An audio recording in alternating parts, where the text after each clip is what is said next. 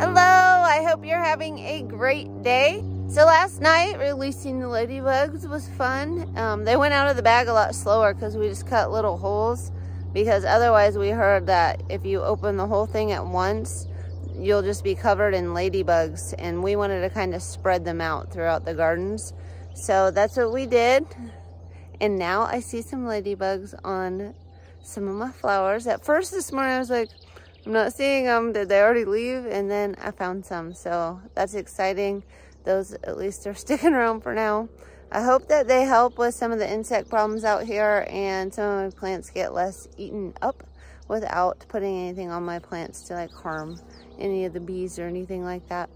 Um, yay! Some stuck around along with a beetle. Wish the ladybugs would eat the beetles. But look, they're in there. I'm so excited to see them. I didn't see them in the rest of the patch and I was like, oh no, they left. But they're there. So this morning I do have somebody coming out to pick up a bouquet, so I have to run in and get that made.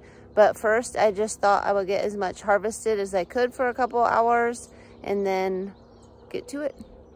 I'll let you know how the day goes. I'm planning on just weeding and harvesting and making bouquets.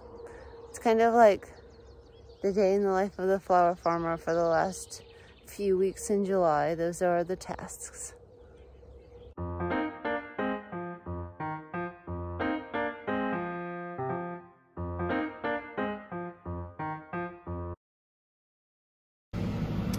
I'm gonna do a quick look at the cooler because I got a big order.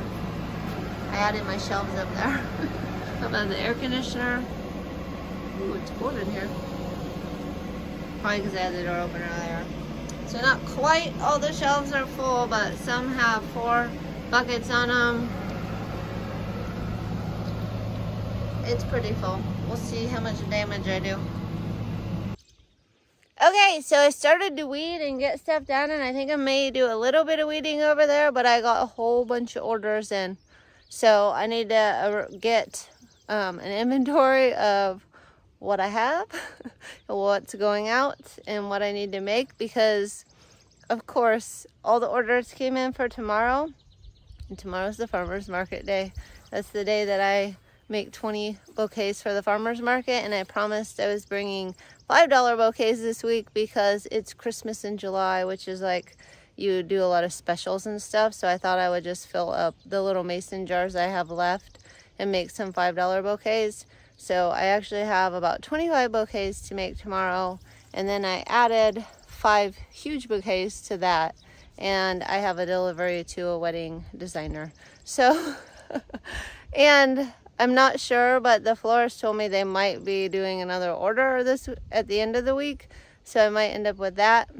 So I might be emptying out my cooler today or tomorrow, I mean. Um, so, and it's like going to be 91 degrees today. It's really hot. It's really muggy. So I'll probably spend the afternoon inside with the flowers that I've already cut. But I do have a, like about 40 minutes before I'm going to go to lunch. I'm going to go down this row and try to clean up what's in front of the lupine. I did finally get all oh, the crabgrass out of my lavender. There's one cosmos left, but I have been using that for foliage, so I figured I'd come out and cut it and throw it in a bucket. And then I kind of cleaned up around this random stuff. I just threw that in um, this spring. and I missed the row because it was too grassy and I couldn't see. So that should have gone up, but I'll probably dig it out and put it in an empty hole next spring. So I'll just weed it around it for now and hope the crabgrass doesn't come back too strong. Oh, it's looking so much better than it did. And now this disaster of a mess. There's some more cosmos. Hmm. much better. I did leave one little salvia. I think I'll cut the salvia and then pull it out. And then I've got empty holes all the way to the lupine. And it is 11.27, so 27 minutes. It's really easy when there's nothing you want to keep.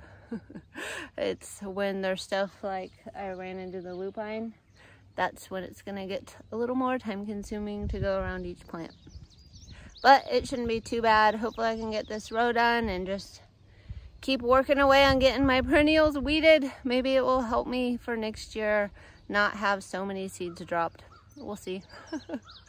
anyway, um, I'm gonna go head to lunch and after that I'm gonna get flowers ready. So I'll probably take a lot of pictures and give you some updates.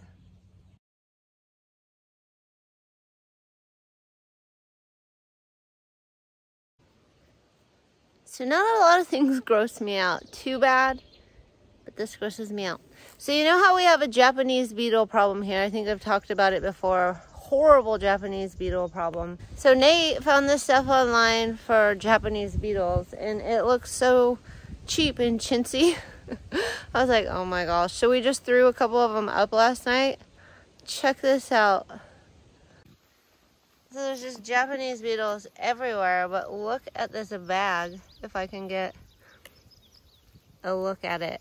There are just, ugh, they're like touching me. I'm not a fan of Japanese beetles. It is full of Japanese beetles, and that's it. Only Japanese beetles. And this bag is already this full of them. Isn't that just disgusting? I wonder how many bags we will go through.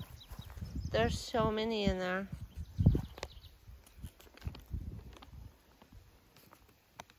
Look at them all. They're just gross. And then I guess... And then I guess you can just dump the bag into like soapy water, like just instead of like picking them off all over your flowers. So I've got two bags and I have six total that I can hang up around the farm, but they're just flocking to it. They're already like flying back to it now. They say not to put them right in your field because it attracts the beetles to it. Um, but I don't know, like to me, if they, we have them all over the farm. So if it attracts it to the bag and not your flowers, why wouldn't you put them in there? I mean, I get it. I see both sides, but I'm tempted to just put them down in my zinnias and my amaranth and see what happens. but I'll leave them up here for now and maybe I'll put some along the ditch.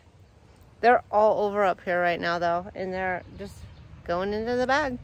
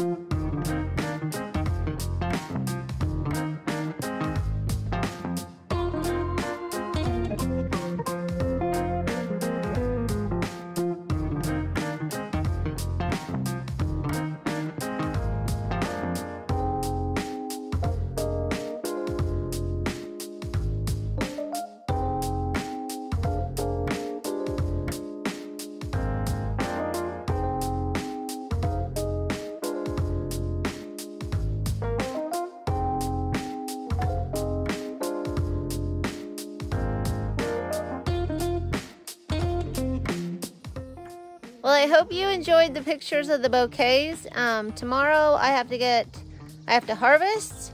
I have to deliver five bouquets and then an order to a floral designer. And then I have to make all my farmer market bouquets. So I'll take a look at the cooler after that. Right now the cooler looks a lot more empty than it did when I showed you earlier today. But of course tomorrow I will harvest, so I'll fill it back up and then I'll make farmer market bouquets. But I think by the time I get done with the farmer market bouquets, most of the flowers are going to be what I harvest tomorrow. I went through a lot today. So it was just really busy, so I took pictures. Um, you get the picture. I mean, I stripped and cut and cleaned and put flowers in vases, and I did do one delivery today.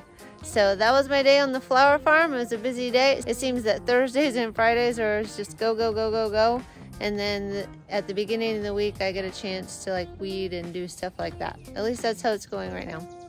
Anyway, I hope you enjoyed the video and I hope you have a great day.